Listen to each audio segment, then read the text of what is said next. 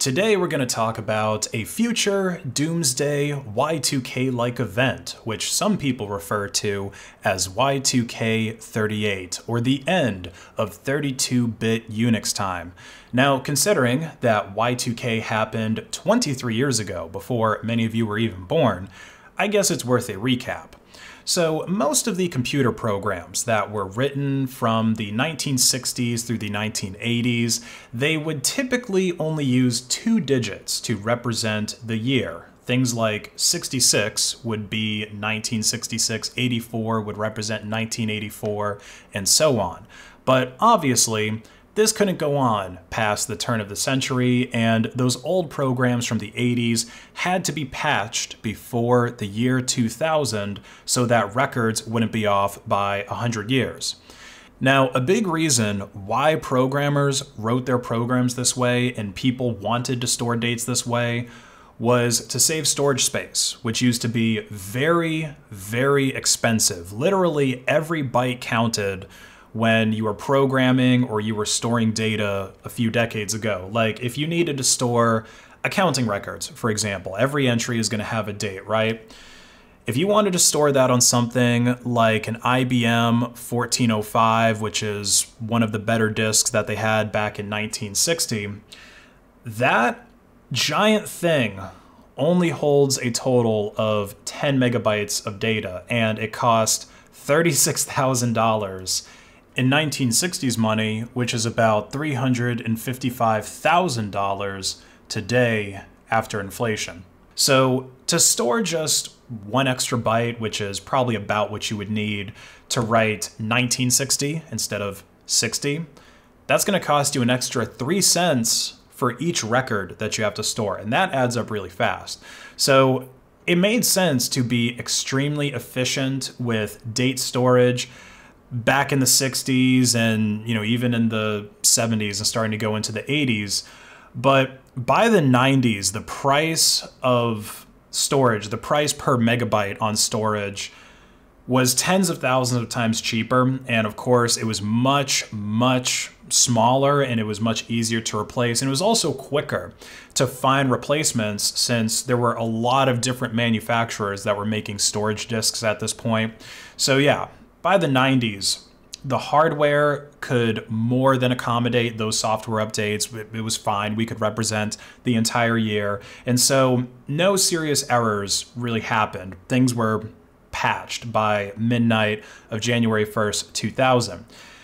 Now, Y2K38 is a similar situation where on January 19th, 2038 at 3:14 a.m. in 7 seconds UTC, the Unix time or the number of seconds since the start of the Unix epoch will reach its maximum signed 32-bit value.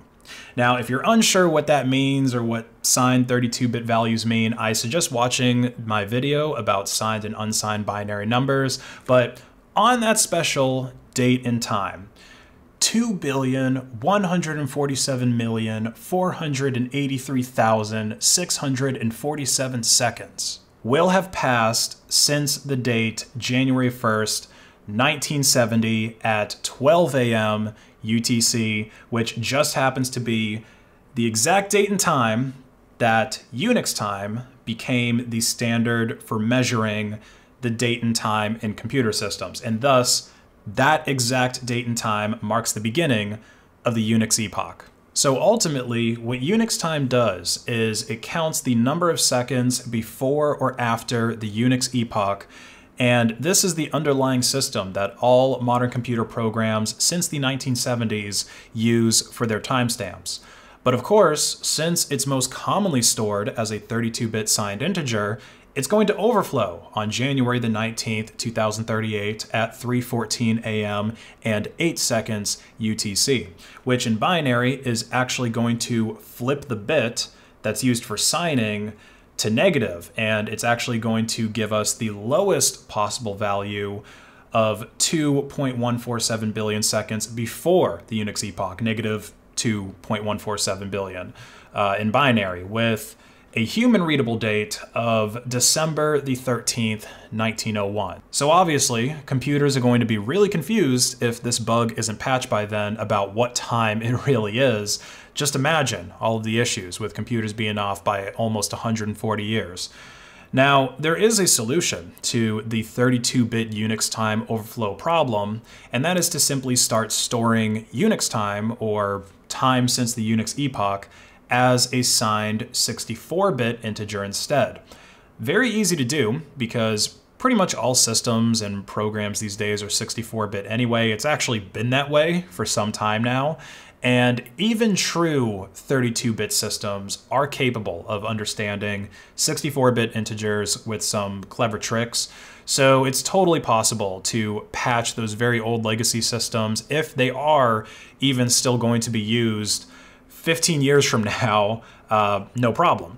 Now, it doesn't mean that there isn't any work to be done at all before 2038. There's several popular open source programs, and likely many proprietary ones as well, that have year 2038 bugs in them right now, like Python, MariaDB, and TCL. So yeah, there is definitely some more work to be done. And since this is a bug that affects timestamps, it actually needs to be done before the end of the 32-bit Unix epoch because some of those timestamps are used for future dates like expiration dates for SSL certificates as an example.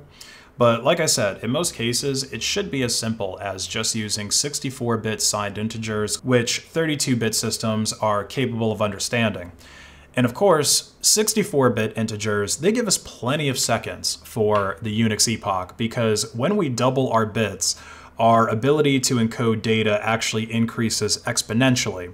In fact, with 64-bit signed integers, we can store enough seconds to represent dates more than 292 billion years in the future. And of course, since we're signed, we can have negative numbers and go backwards that far as well. But since the universe is only about 14 billion years old, there really isn't a time before that that would have any meaning to us.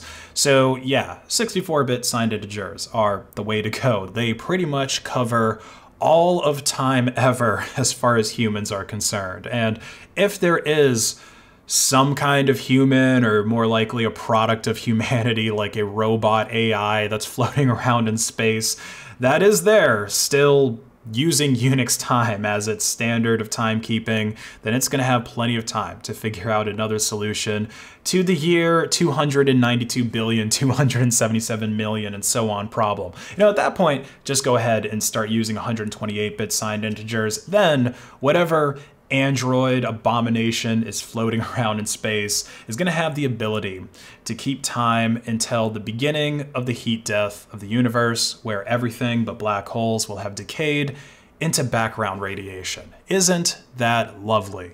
So yeah, Y2K38 will probably not be that big of a deal. Most of the software out there does seem to be patched already. Um, there does appear to be a few Python libraries with Y2K38 bugs in them though. So that's definitely something to keep an eye on if you are a Python programmer, especially if you're actually using any of these libraries. Maybe you could help patch these bugs and be a legend like the people who patched Y2K bugs back in the day. But if I had to guess, the biggest problem with Y2K38 is going to be the same one that Y2K had, which is the hype. People not understanding the underlying issues and getting just super into doomsday predictions, just like in 2012. I remember that one. I'm sure a lot of you do as well. Or the end of 1999. I mean, a lot of that was with Y2K, but there were other non Y2K doomsday predictions then. Uh, there's also some interesting facts about the Y2K38 bug that may attract some even more conspiratorial people, like the fact that if 32-bit Unix time did overflow to December the 13th, 1901, that date is actually a Friday the 13th. Very spooky. So maybe that's going to become part of the Doomsday lore. Also, pi o'clock, 3 uh, 3:14 a.m. on January 19th, 2038 is when things are supposed to go down, so maybe that has some significance too, you know, pi o'clock. We'll just have to wait and see in 15 years how people react to the doomsday prediction. But let me know in the comments below, what do you guys think? Will all the software be patched? before Y2K38, or do you think that some things are going to slip through the cracks and cause problems in that year? Like and share to hack the algorithm, follow me on Odysee, and have a great day.